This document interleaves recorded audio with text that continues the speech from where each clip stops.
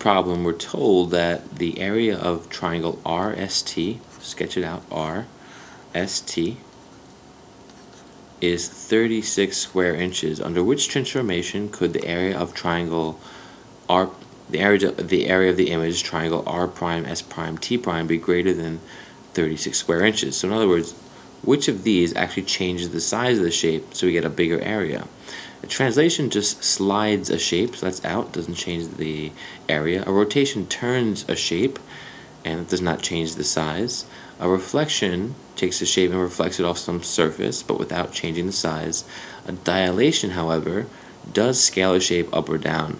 So for example, if we wanted to uh, dilate the shape by 2, every side length would become twice as long. So here it would become right here, here, right?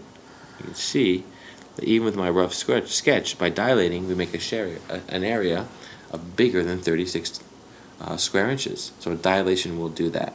It can also do the reverse and make it a smaller triangle. But either way, it will change the area. Okay, hope that helped.